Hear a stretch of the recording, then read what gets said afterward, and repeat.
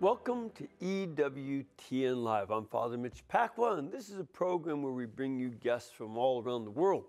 Tonight, we'll talk with an award winning organist, composer, and conductor about the role of music in the liturgy and how sacred music can affect the church and the much wider culture. But before we get to that, we want to speak, speak briefly with Len Marino, who is EWTN's Vice President for Creative Services, to get an update on some new things happening at EWTN. Len, what do you have for us? Well, we got a couple of things. Thank you. It's good to be here. Um, we've got um, a, uh, a new open for our cinema you know, because we do things like do opens, just like the one you just mm-hmm. saw to open your show. We've got a, a new book uh, for kids on the saints, uh, written uh, by uh, a woman that works for Church Pop. Mm-hmm. Um, and we have a, uh, a, EWTN original documentary on the poet priest. And we'll roll some promos for that. Yeah, you'll see. Let's, let's take, take a, a look. Let's take a quick look at some of these clips.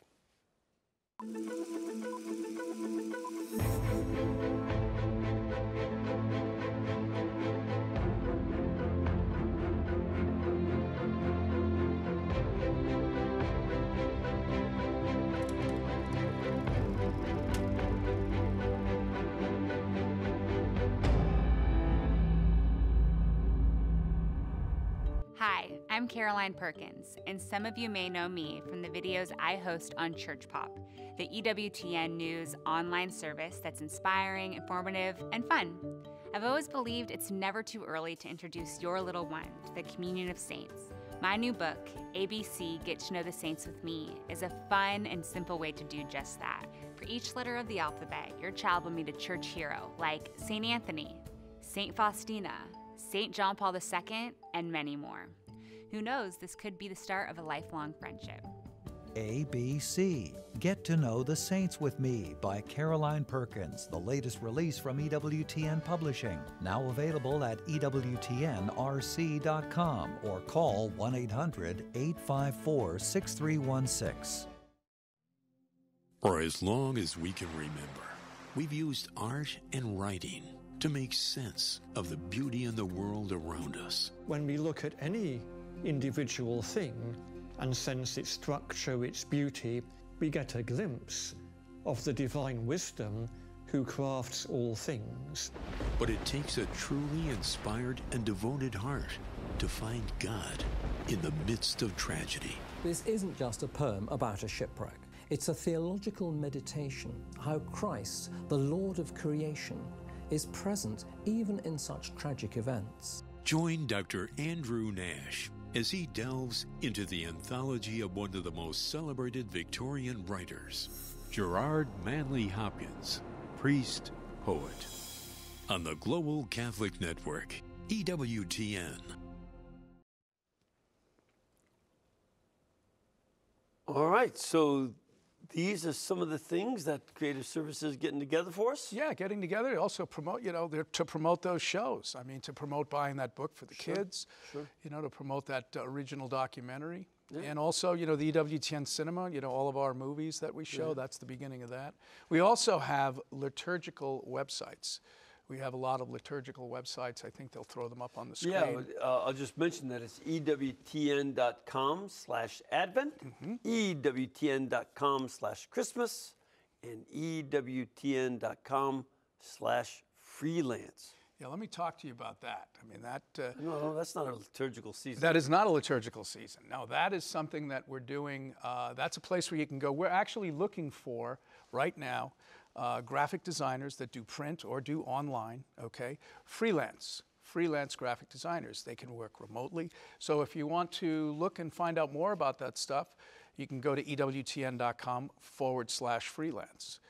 So that's what that website's about. All right. Okay. Well, Len. Well, thank you. Keep up the good work. We appreciate it. And we'll be back in just a couple of minutes with tonight's guest and our conversation about sacred music. So please stay with us.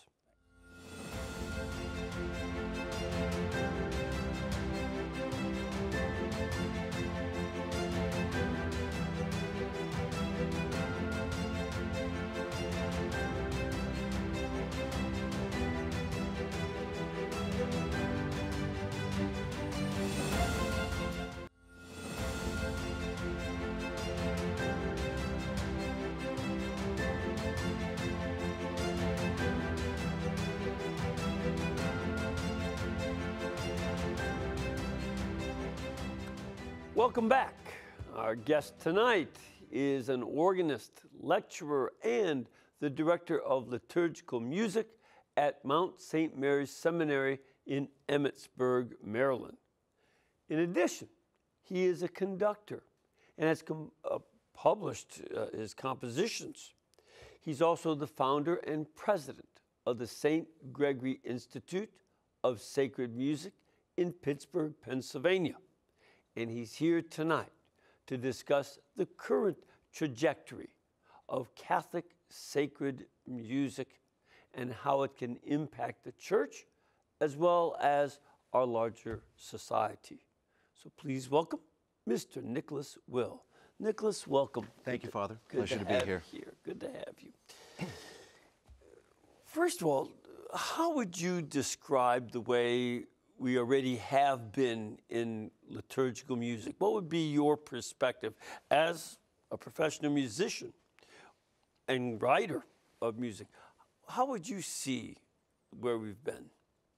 In the last few decades, or perhaps since Well, Vatican you're a II? young man, so I guess we'll have to just go a couple decades. Sure. Go, give me what you got.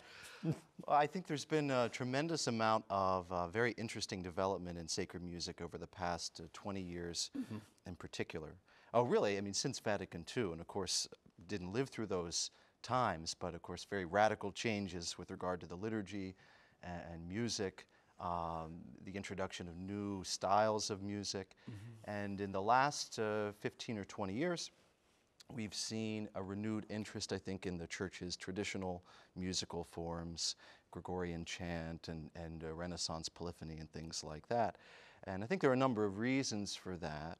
Um, certainly, uh, the, the papacy of Pope Benedict XVI uh, did uh, much to draw to our attention the importance of sacred music and our, our liturgical music heritage. I, I- I think it's worth noting that Pope Emeritus Benedict was himself quite a fine musician. Oh, yes. You know, he would just sort of, to, for fun, play Mozart. You know. Yes, yes. I, he spoke uh, and wrote uh, as a man who thoroughly understood music.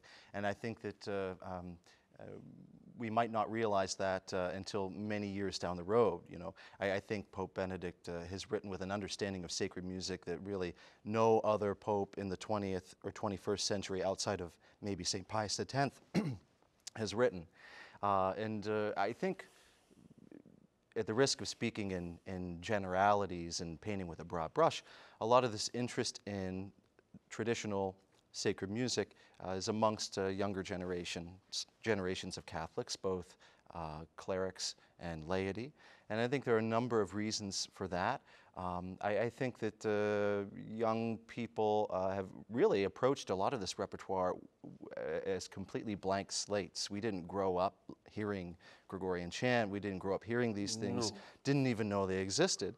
And then all of a sudden, as young adults, when we maybe first uh, you know, walk into a mass where this music is employed or, or, or discovered in some other way, we're, we're discovering with, with completely fresh eyes and ears.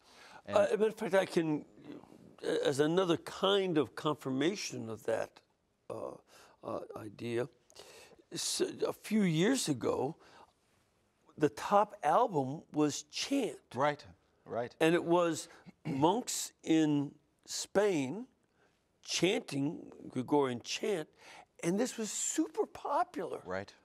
And folks didn't know Latin, you know, they didn't understand the words, but there was a beauty that was haunting, it was just uh, uh, captivating for so many young people. Right. It wasn't just old timers by any means.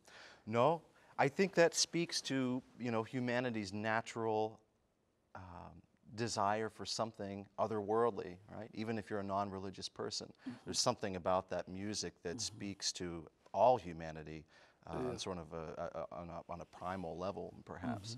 Uh, and yeah, that's exactly right. That's a wonderful example. Yeah. And, you know, I, I, I would speak for a gen- another generation, uh, but I, I'd say that a lot of people my age, I'm in my 70s, uh, really react negatively. We can't use Gregorian chant. We're going backwards. And they start. Uh, sometimes we older folks start rocking anyway, and there's no rocker. But uh, you know, going back to Latin and Gregorian chant really makes some people get upset because they feel like it's a reversal of evolution.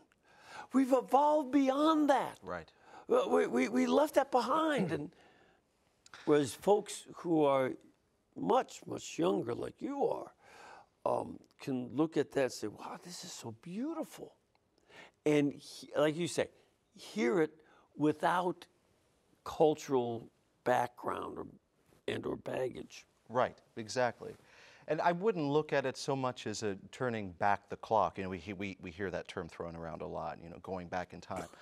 I mean, I think that a lot of it is simply uh, um, this is the natural evolution of the liturgical changes during and after Vatican II.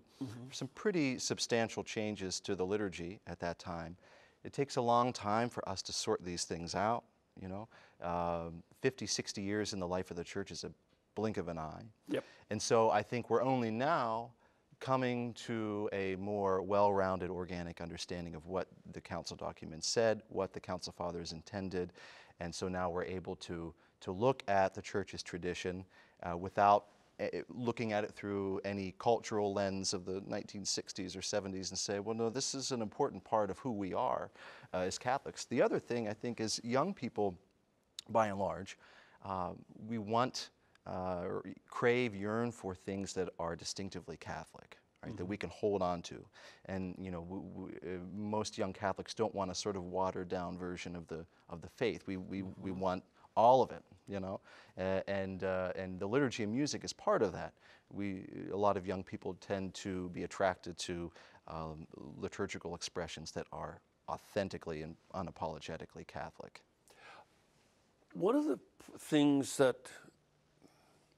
happened after the council uh, in those, those first decades is that a myth about the spirit of Vatican II was created.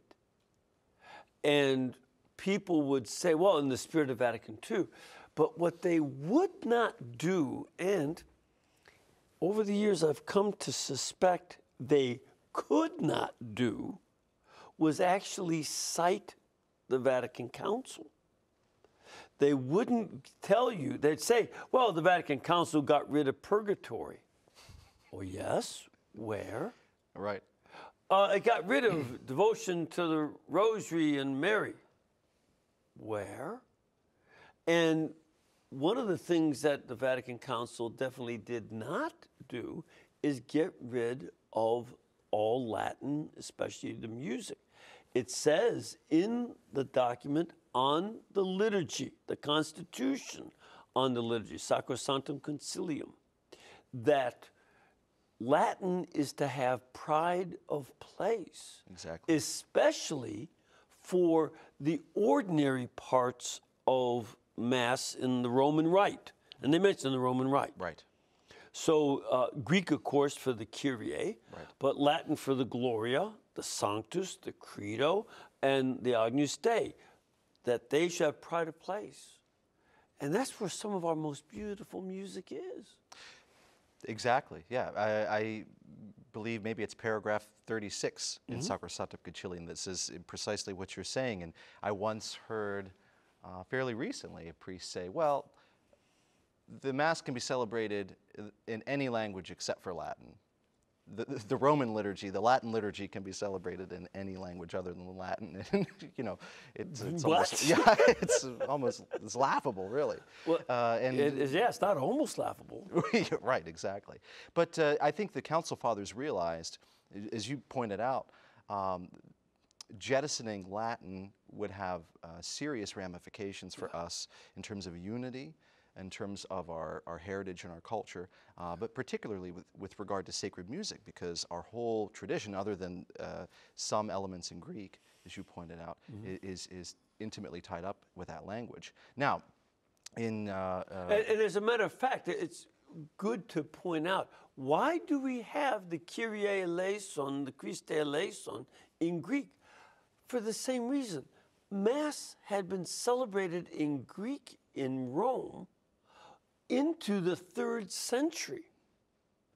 And so it was kept as a vestige of the original language of the Mass in Rome. And- uh, and I've been, I know something of Roman history, and, and half of the citizens of Rome spoke Greek as their first language. Half. Half in the first century. Wow. Now, by the mm-hmm. third century, it was starting to be forgotten. Mm-hmm. People weren't learning it anymore. But they'd conquered Greece and Greek speaking areas. There were a lot of Greeks Sure. in, living in Rome. And Latin was a second language for them. And that's why it wasn't until the third century. Hmm. And ironically, um, when I hear people who say, we, you know, I'm not going to go to church unless it's in Latin, the first anti pope had the same mentality, but for Greek. He said, We can't celebrate in Latin. We never had Mass in Latin. It's got to be in Greek. Oh, that's fascinating. Same argument, different century, Yeah, right? exactly. different century, different language, but same argument. right. But we, but we did keep that Greek vestige, and we now keep these Latin vestiges. Right. It's, in some ways, living archaeology. Yes, you can see the layers. Exactly. Yes. yes. Exactly. And you know, we, uh, you know, I'm biritual in the uh, with the Maronite rite, and we do the same thing with Aramaic. Right. We maintain Aramaic for the most important elements of the liturgy.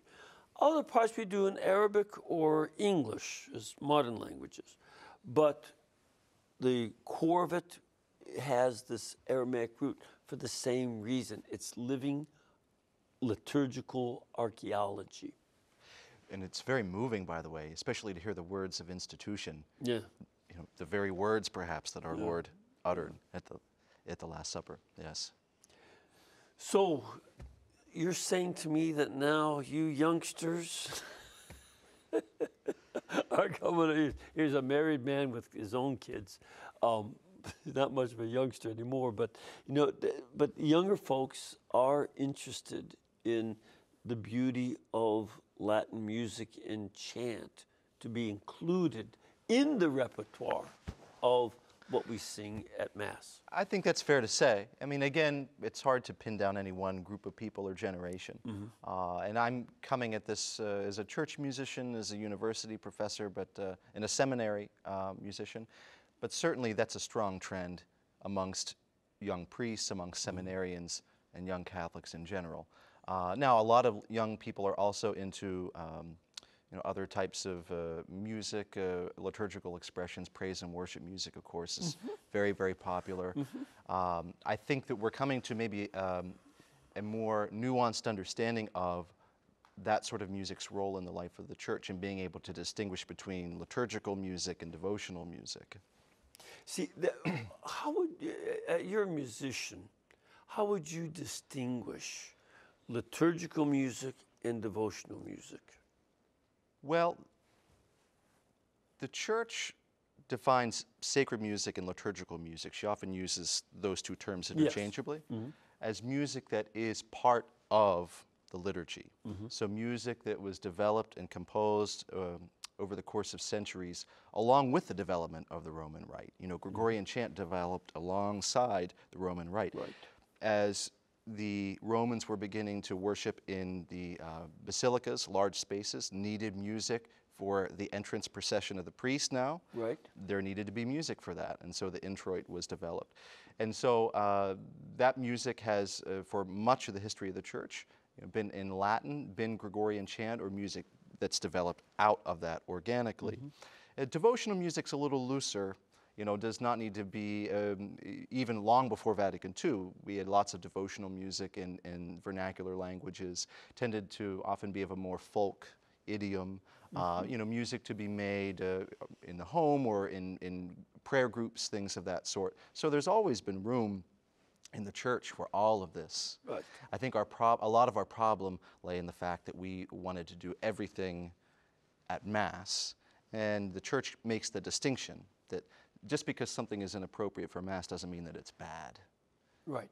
That's right. It, it- it's an important thing uh, to, to keep that distinction because there's some use that we can use in devotional celebrations that you, you don't have to have Mass going on.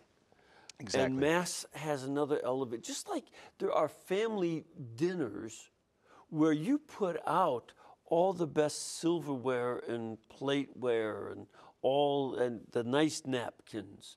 Then there are other times plastic and paper napkins Right. because the kids are eating uh, hot dogs and uh, beans. You know. Yes. So y- y- there's there are different levels in all parts of human life. I'd like to, to maybe get a little bit of music in here so people Please. hear what this. We've got a little clip from um, uh, uh, an album called Firmum Est Cor. It's uh, th- this piece of music comes from the Pontifical North American College Choir, and it's um, uh, available at pnac.org and the typical streaming sites. So let's t- take a listen to this. This will be uh, Christ- Christus, uh, Hodie Christus. Hodie Christus. So let's take a listen to this. This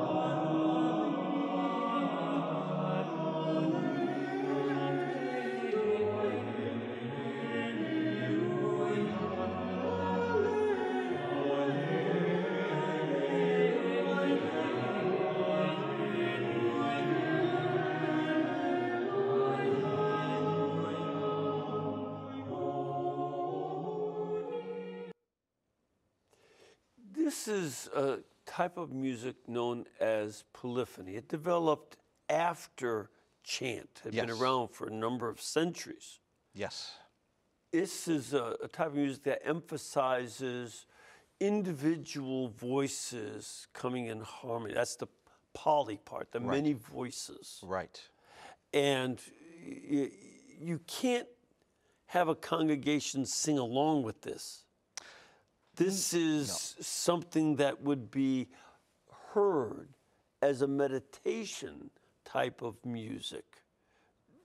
During Mass, in this case, the Christmas Mass, Right. when people are receiving, coming on the line for Holy Communion or some other point of otherwise quiet, this meditative music would be used, whereas chant I've heard described as a humble music in which the individual voice is melded into the community in a simple kind of singing. Nobody is a star Right. in Gregorian chant. Everybody sings together. Right. Would that be fair? Fair point. Yes. Yeah. And within Gregorian chant or within chant, you have uh, the full gamut of, of, of abilities and difficulty. Yeah, yeah. Very simple chants for the congregation, for clerics, you know, and then sort of uh, middle. Actually, the simplest chants are for, for clerics, the dialogues and things like that. Uh, and then for the congregation, you would have things uh, like the Gloria and Sanctus and things like that. And then you have some things that are more specialized too, uh, the propers, the entrance chant, communion chant, offertory chant that traditionally the choir would sing. And then out of that tradition grew polyphony, Right. and originally would have been uh, often alternating with chant. So you'd have a little bit of chant and then a little bit of polyphony. And then once we get to about the 16th century, though, polyphony really became quite popular, and, and Yes. most of the mass would have been occupied uh, by, by that type of music. And yes, it is uh, music. It's uh, difficult to render some of it, and uh, uh, usually sung by, by specialists. Although there are um, examples that can be sung by really um, any choirs or a group of people that work hard enough at it. Yeah, uh, one of the high points of polyphony would be someone like Palestrina. Exactly. You know, in the 16th century. Um, and uh, this develops further into eventually opera comes out of that. You know, that in a lot of ways, there's that early opera. Um, but I, I think for us to see that this music uh, is something that also lifts us up, it elevates. Sometimes I fear that contemporary hymnology, the, the hymns of, say, the last 30 years or so, are sort of smoothing out the abilities and differences. And even and the the bigger problem for me as a theologian is some of them are just you know the words are practically nonsense. Um, you know that it doesn't make theological sense at all. It's focused on us. It, it emphasizes on how great we are, instead of singing to God how great Thou art. Right. And this is, I think, a horrible mistake. Chant always is focused on praise of God and proclamation of the faith. Fair point. Yes, and just by its nature, you know, uh, chant is humble. As you pointed out, there are no stars in a chant choir. Or at least there, there, there shouldn't be. Um, yes, it, it's a. The texts have been a particular issue, I think, in a lot of sacred music written in the last uh, 40 to, to 50 years. And, and you know, the church, in her wisdom, the Latin church in the West, has been very open to development. You know, we, that's what's allowed Palestrina, uh, Mozart, uh, all of the great composers uh, throughout the centuries to write sacred music. Some of, some of humanity's greatest artistic achievements are found within this tradition. You now, Bach's Mass in B minor is yes, yes. stupendous. Um, and he was Lutheran. He was, he was, yeah. Uh, other traditions have purposefully uh, stunted their tradition, you know, and said, no, we, we will not develop beyond this point. We, we will not use instruments, or we will not do this or that. Yeah. But in the West, we've been more open to development. Now that's a double-edged sword, Yeah. right?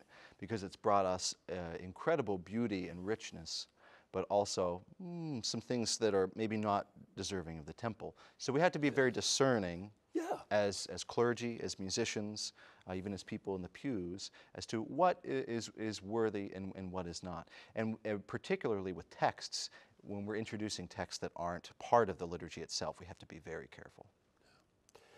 We also like to have uh, one more little clip. Um, if we could do something, uh, I think we got a clip of the Regina Caeli. Let's take a look at that.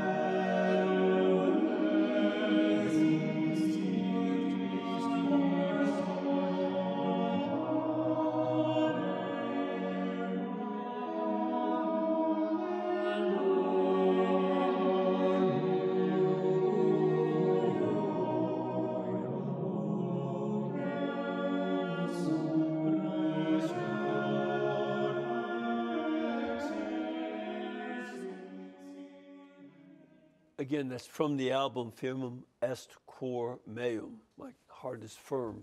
Uh, performed by the Pontifical North American College Choir.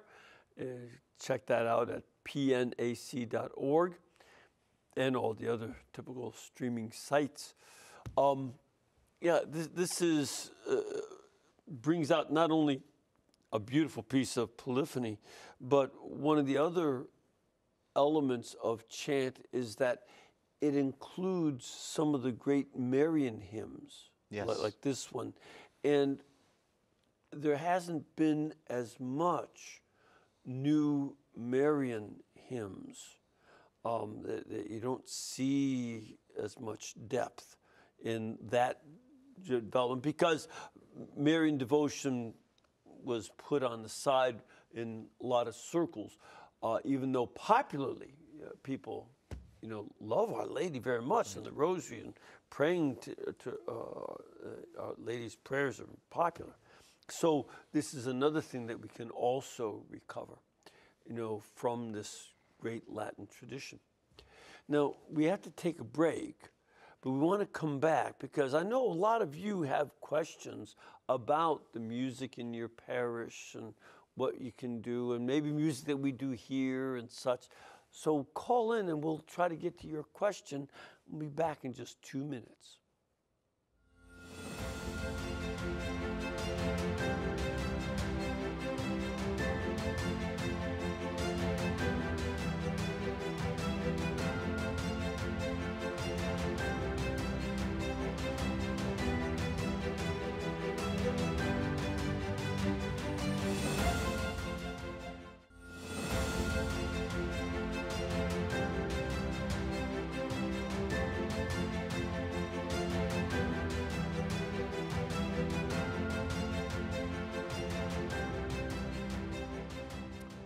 Right, welcome back. And we are ready to take your phone calls. So let's start off with Dirk. Dirk, where are you calling from?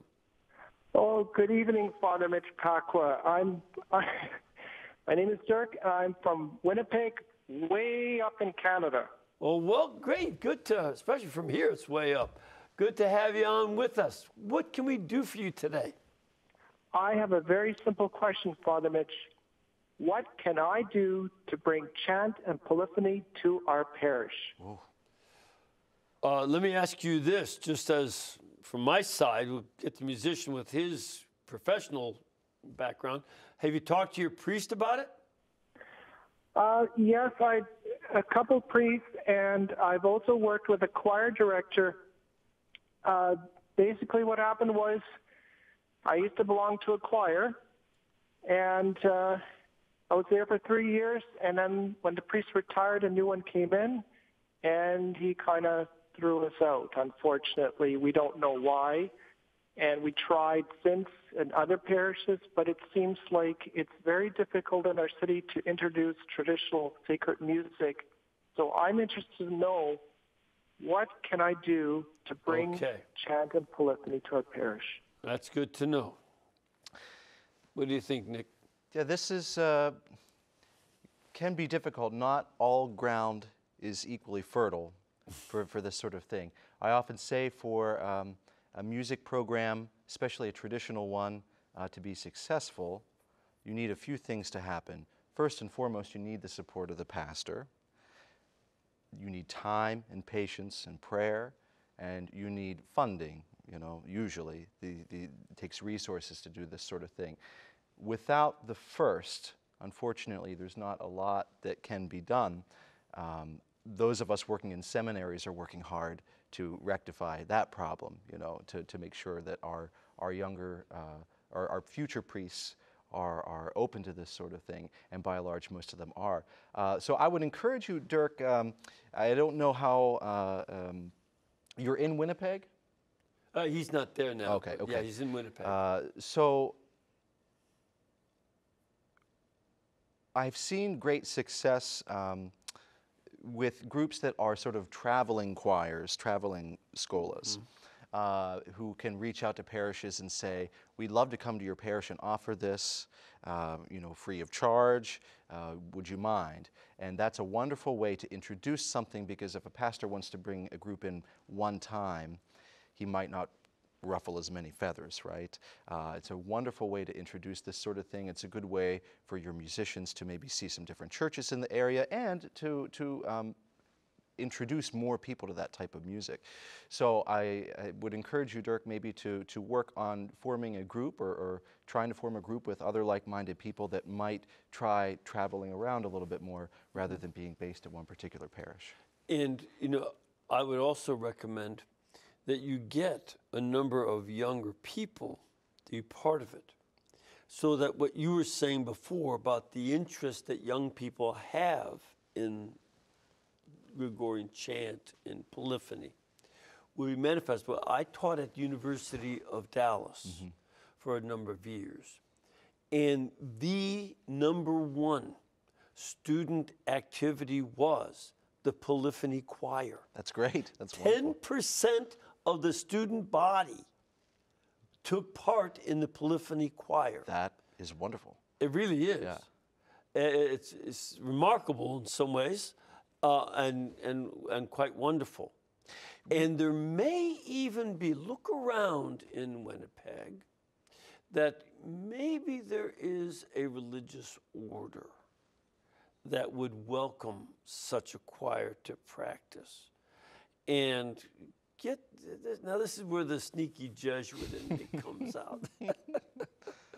but, you know, to find a way where you can maybe find a monastery or a right. convent where they would welcome you to practice and then also sing to the Lord. Maybe even offer a few special concerts where you do Easter music. It's too late for Christmas. Right. Do an Easter or a Holy Week special. Right. Those that could be something quite nice. Oh, and, yes. And eh, I happen to know Winnipeg a little bit, and there are a couple dioceses next to each other. You might you can cross the river and do things that way too. Maybe even check out the Ukrainian Catholic, Greek Catholic Cathedral.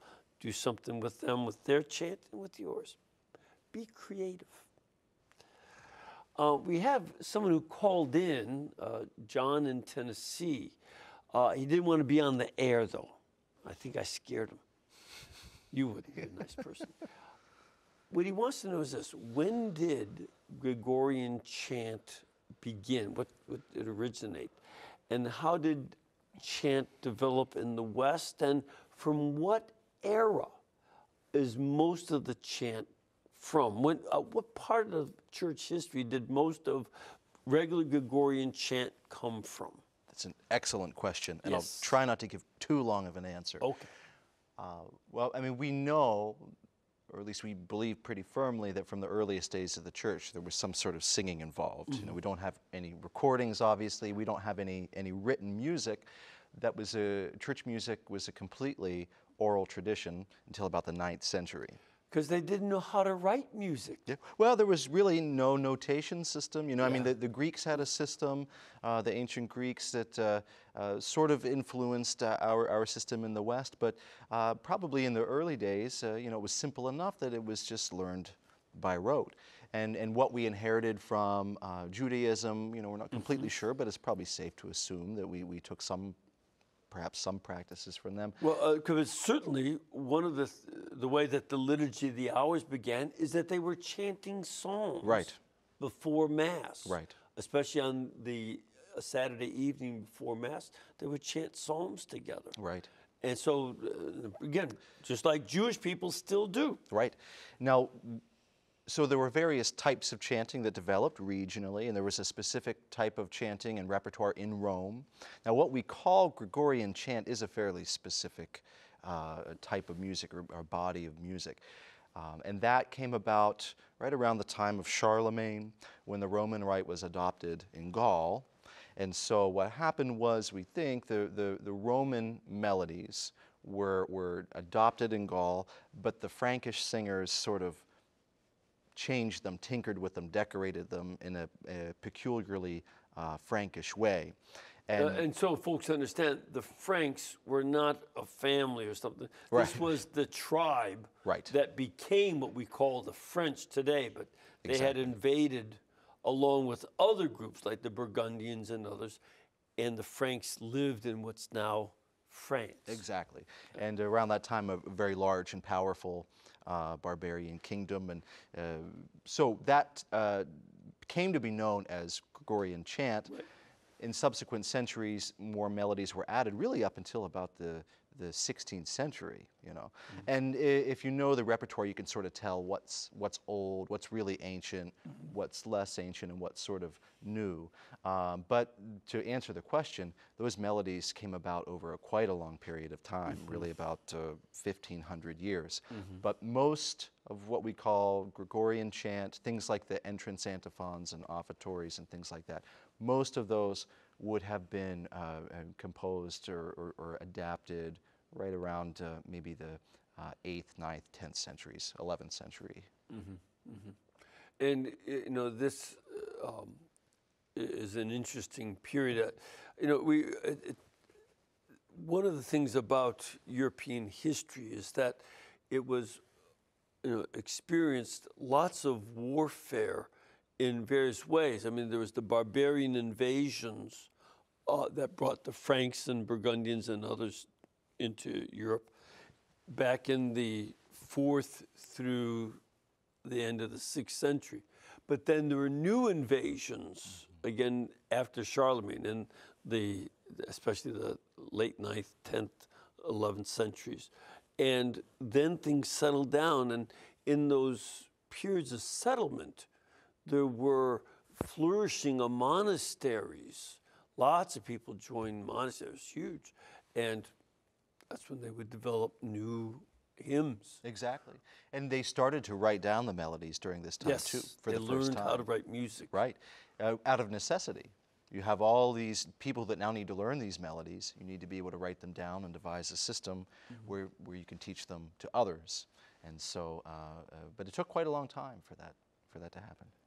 Yeah, a lot of times folks don't understand that the concept of the Dark Ages mm. was a late concept. That the Dark Ages weren't called Dark Ages mm-hmm. until the 1600s. And that's because they saw themselves as the rationalistic enlightenment, Sure. whereas during the Dark Ages they thought they were modern. Right, right. well, and, And, in those periods, it's the monks who did almost all the inventing. right. They, and w- one of their inventions uh, was writing down music. Exactly.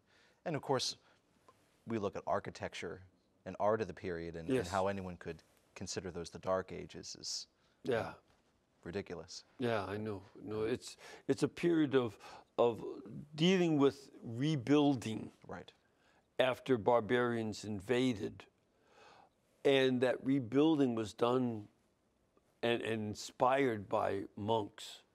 You- we cannot underestimate the importance of Saint Benedict and his monks in those centuries. Precisely. Yeah. It's you know, one of the things to go back to one of the callers that we had about what he can do.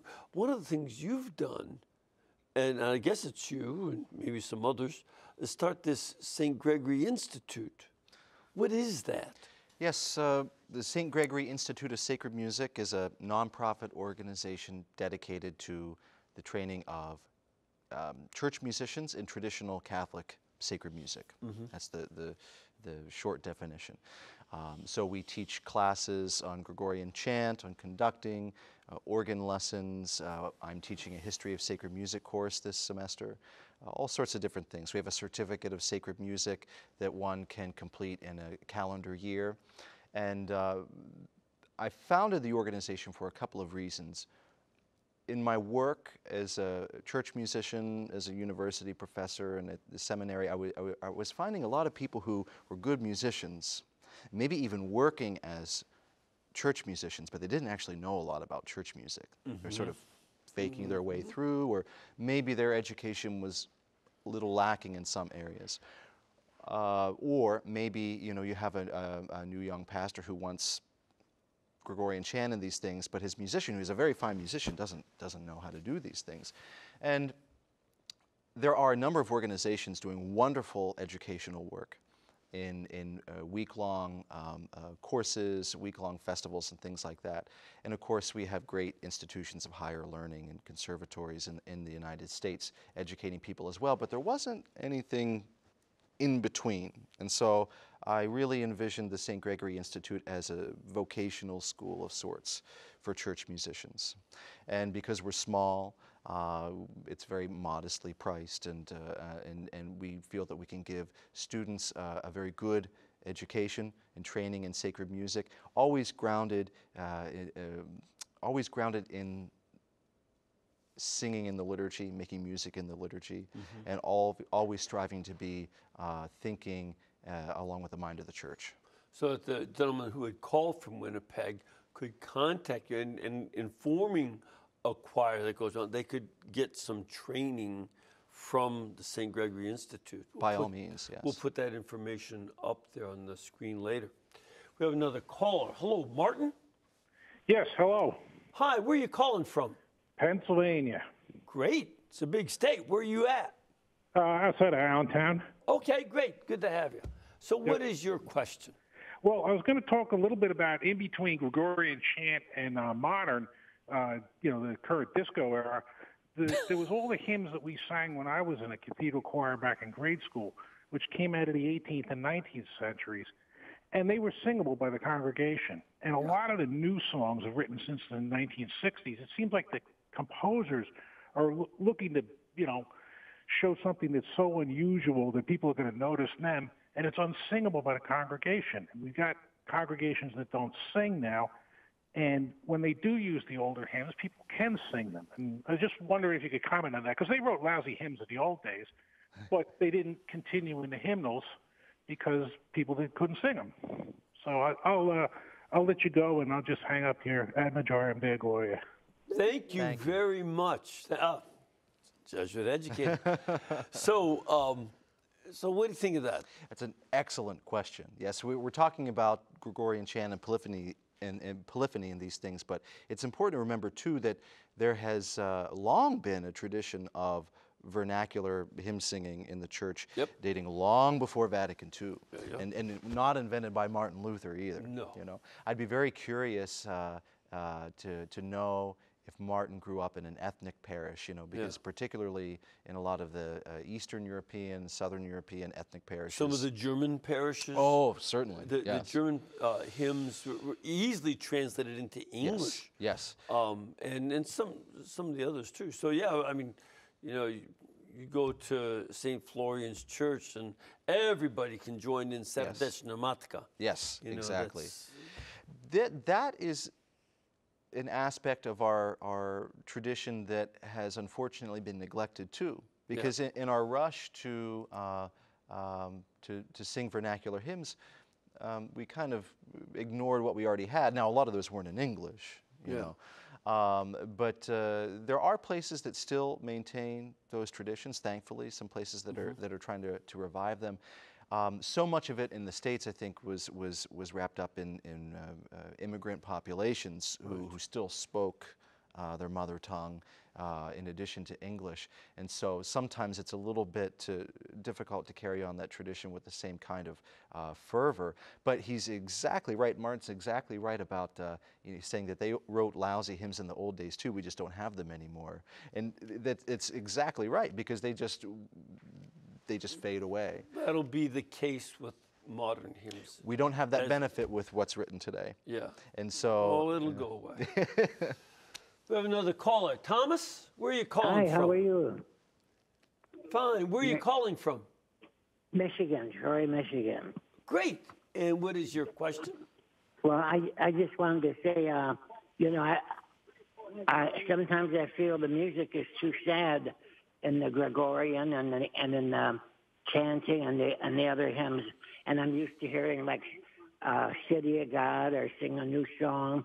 To me, they sound more happy in the church, and when I hear the other other music, it sounds more sad, and I feel too solemn. You know.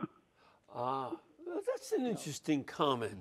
Because Gregorian chant does have a solemnity. It's not sad, but it is solemn. I often say to my students who are studying these, this type of music, the worst thing you can do is perform this music, offer this music poorly, you know, too slowly, you know.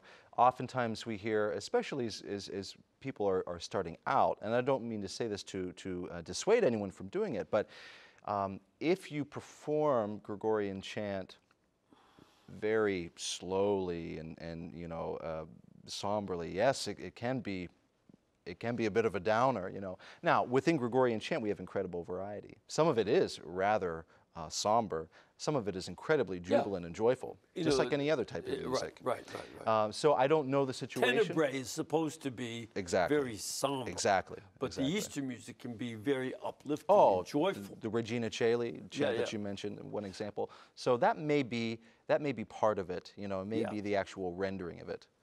I, have heard Gregorian chant uh, on, on, one album that it was sung at a at a clip, mm-hmm. and it it really lilts along if you speed up. Yes, yes. Uh, you know, uh, and, and, has a, a, a, drive to it that. So I, I, think that might be one of the things, Martin, is uh, just got to get people to put a fire under their backside and speed that up. well, and, and two, I think we, we can have a, an honest discussion about what terms like happy or uplifting mean. Yes. Right? Because these gradations in chant that we're talking about are subtle. Mm-hmm. And uh, as we know, we are very stimulated in our society today, over overstimulated. And so our ability to pick up on subtle subtlety, subtle joy, quiet joy, is it takes us a little bit of time maybe to recover that ability. Yeah. And I think that might be part of the issue too. I want to put up the information. It's the St. Gregory Institute.org. Saint is spelled out. And also, you can get the album Firmum Est Cor, performed by the Pontifical North American College. Uh, just go to pnac.org and the other streaming sites. Nick, we've run flat out of time. Thank you very much for being with us and giving us some of these insights on music. And may the Lord bless you in this great season of Advent, keep you healthy and safe.